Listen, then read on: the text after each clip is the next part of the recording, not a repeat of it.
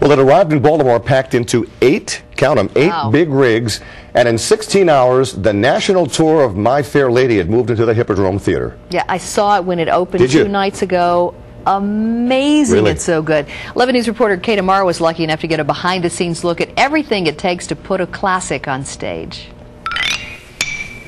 Hey, we are on the set of My Fair Lady at the Hippodrome. This is a huge production. There are a thousand prop pieces, 304 lights, and the scenery is automated. To power all of that, including the sound, the production uses five miles of cable. It's running from the back of the house to the front.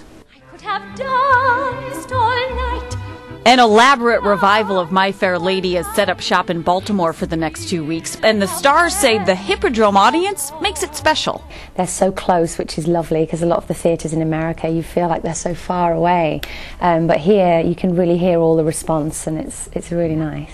The scenery is mechanical. It moves like magic on and off stage. It is wonderful. I mean, I love my study set because it really just it does feel like home. Yeah, this is my home, really. you live there most of the time.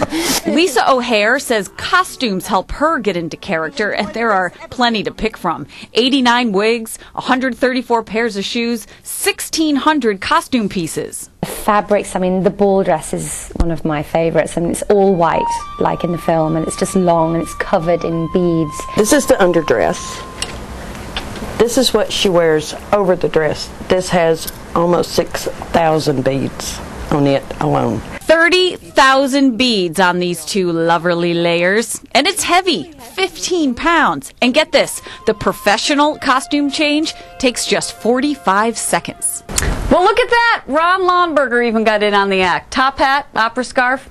Nice look, Ron, but you have to admit this dress is a lot prettier to look at. This is the ball gown that Lisa wears in the show, and she warned me about this. The foundation of this gown is a corset, and it sucks you in. Slumping, definitely not an option here. The corset forces you to stand up straight and walk a certain way, and she's right. It really does make you feel a little bit more elegant. You can't help but feel special when you put those costumes on because they're so beautiful. A couple more secrets from the set. There's a secret door in the professor's study.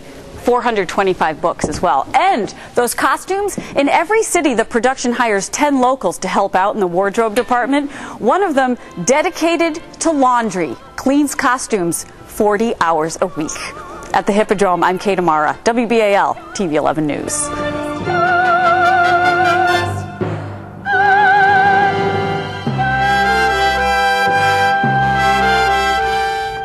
I tell you, if you miss the show, you are